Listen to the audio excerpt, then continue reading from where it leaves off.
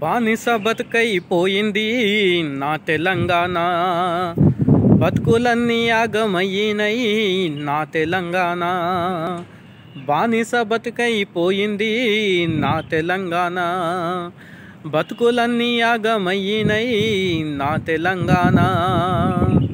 ఎంత అన్యాయం జరుగుతుందంటే తెలంగాణ రాష్ట్రం లోపల మనకి ఇప్పుడు ఈ కొత్త కొత్త పథకాలు ఎందుకన్నా మనం పేదోడు బతకనికి ఇప్పుడు ఈ పథకాల వల్ల బతుకుతలేడు పేదోడు ఆసుపత్రి పోతే చచ్చిపోతాడన్న నిజం చెప్తుంది ఎందుకంటే గవర్నమెంట్ ఆసుపత్రిలో కూడా ఎన్ని వరకు ఎంత వరకు సదుపాయాలు బరబ్బరు ఉన్నాయి?